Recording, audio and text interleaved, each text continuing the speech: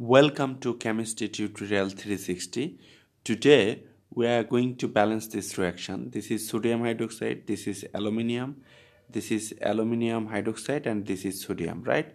Okay, to balance this reaction I can draw a table like this. On the left hand side or reactant side we have here one sodium, here we have one oxygen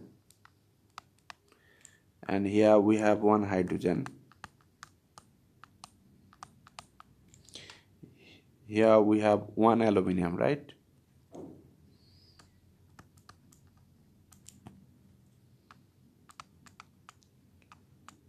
Okay.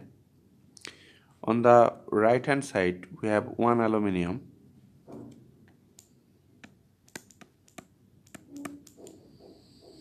Here we have three oxygen. Here we have three hydrogen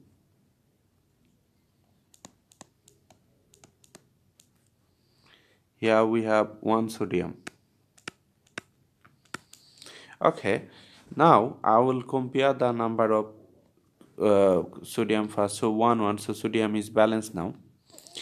And oxygen 1 and here 3 so oxygen is not balanced and hydrogen 1 3 is not balanced and aluminum 1 1 so it's not uh, aluminum is balanced. So hydrogen is not balanced. So to balance the hydrogen I can multiply here by 3 that gives me 3 that is 3 3 hydrogen. If I multiply here by 3 these 3 must come before uh, this uh, hydrogen that is uh, I will put here 3 if I put here 3 the number of sodium will be 3 right? So I have to write the number of sodium here 3 the number of uh, oxygen will be changed. So we are getting 3 oxygen here. So let me write that and here we have three hydrogen. Already we have that and aluminum one. However now look at the number of uh, sodium. Here we have three but here we have one. So to balance the sodium what should you do? You can multiply here by 3 that gives you 3 these 3 must come before this sodium that is here.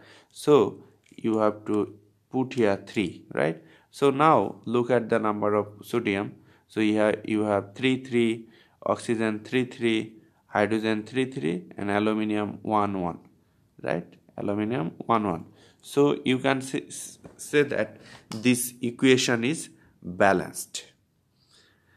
But I will show you another way to balance this reaction okay?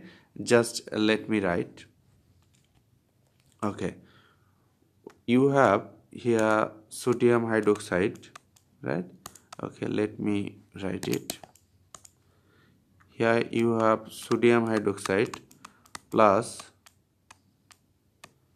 aluminium.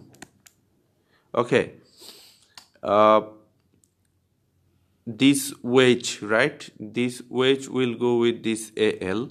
So you are getting here aluminium trihydroxide.